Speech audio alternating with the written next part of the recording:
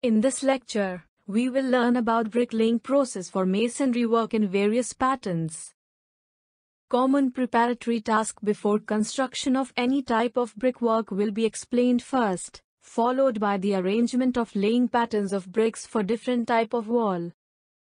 The first step to gather the personal protective equipment. The common PPE requirement are helmet, a safety jacket, goggles, boots, and gloves. Gather all the tools and material needed. Please refer to lectures masonry tools and mixing of mortar for details.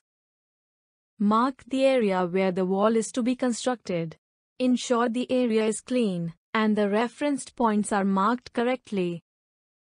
Stack enough bricks required for the day and soak them with water. Pick the bricks that have sharp edges and are uniform in size.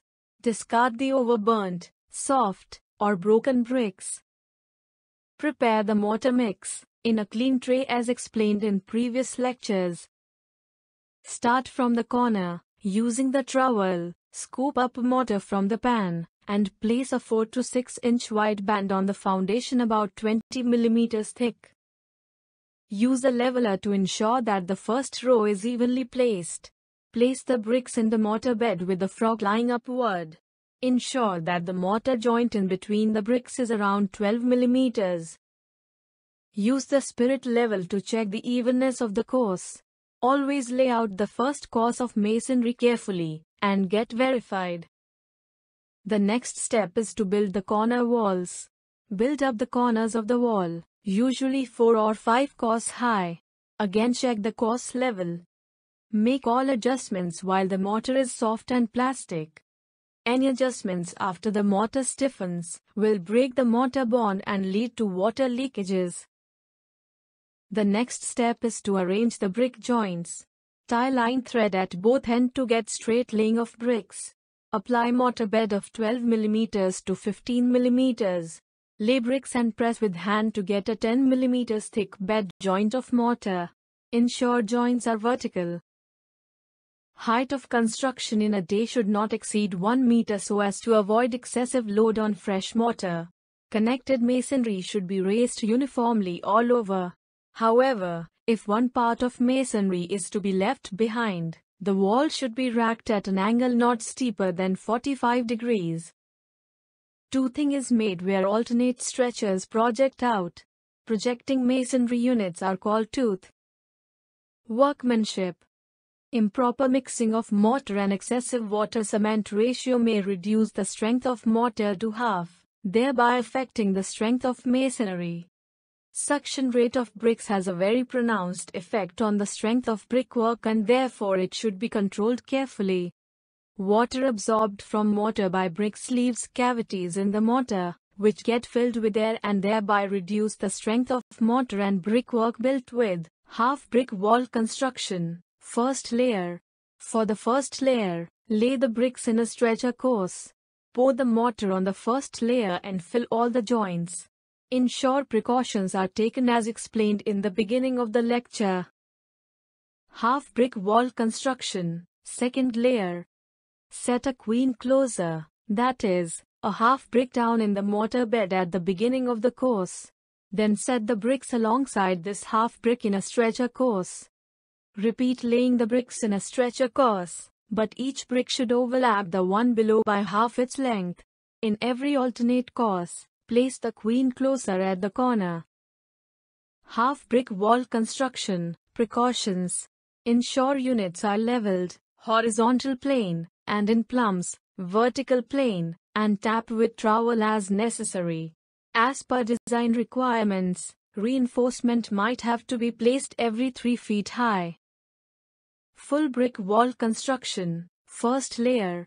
Lay the first course as a pair of stretchers, with frog lying upward. Fill the joints with mortar and spread mortar on the first brick layer. Check for levelness. Full brick wall construction. Second layer. Lay the second course as headers. Quoin header. The first brick at the beginning of the second course as a header. Cut a brick into half of its length. These pieces are called queen closers.